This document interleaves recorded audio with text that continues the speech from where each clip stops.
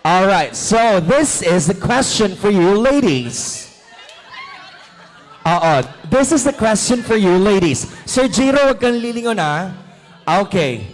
The question for you guys is, kung magiging prutas ka ngayong gabi, anong prutas ka at bakit ka kailangang kagatin ni Jiro? Okay? So, Jiro, wag kang lilingon ha kasi anonymous lahat ng mga ladies tonight. Okay? So, hindi mo ito alam kung sino-sino sila, kung kaibigan mo ba yung kakagatin mo. Yan. Okay. Let's do this. Let's let's start on this side. All right, ladies. All right. Ito, mukhang palaban ito. Girl number two, kung anong prutas ka tonight for Jiro? Um, santol. Wow! Nako, seasonal lang yan, di ba? Hindi laging tagsantol. Okay. Bakit santol, girl number two? Para sisip-sipin niya mo. Ay! Sabi ko sa inyo eh. Bukod sa mahirap hanapin, seasonal, kasip, sip, sip, sip. Girl number three! Oh my God. Ang hirap bantayan ng santol ha. How about girl number five? Ah, watermelon. Ay, naku, maganda ito. Sa Tagalog, ang watermelon ay pakwan. Bakit pakwan, girl number five? Mamula-mula na, ay dilalam namin mo muna bago mo isupla. Ah! Grabe! Grabe, girl. Grabe. Si girl ay mamula-mula at sisip-sipin mo muna bago mo isuplang pakwan. Grabe. Laban na laban ng mga babae. May kaba si girl number seven. girl number seven, anong prutas ka tonight? Okay. Isa akong rambutan. Oh, sinasabi ko sa inyo. Alam nyo, ang gagaling ng mga babae mag-isip. Oh my God. Pakinggan natin kung bakit sa rambutan tonight.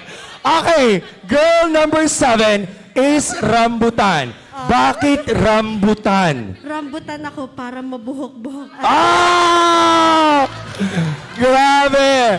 At pagkaka paano paano kinakain ang rambutan? Paano kinakain? sinisip-sip. Sinisip-sip rin. So, sinisip-sip rin ang mabuhok. Girl number 11. Saging. Oh! My God!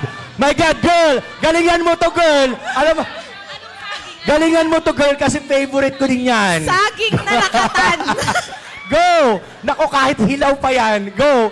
Go! um, para ano, matitigakan pag Aba! Bakit may matitiga ka naman? Aba! Aba! Parang napakatagal ko naman po kumakain ng saging ako hindi natitigakan. Laban, laban, laban sa girl number 11, ang katig-ak-tig-ak na banana. Okay, grabe yun ha. G- girl number 12, let's go. Pinya.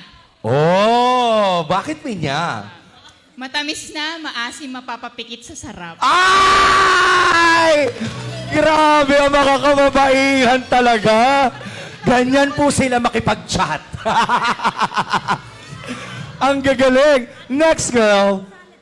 Anong prutas ka tonight? Um, um, papaya. Oh, kakaiba ito. Bakit papaya? Papayang hinog o hilaw?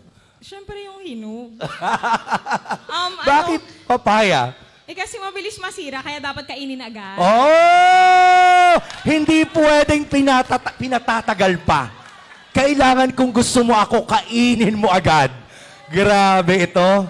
Okay. And the last woman? And girl number 14, grabe ito. Nilahat niya, ako ang fruit salad mo. Alright, Sir Giro, anong prutas ang kakainin mo tonight? Very tempting din yung ano, saging. Medyo challenging. Pero pipiling ko po yung fruit salad. Favorite ko talaga yun eh.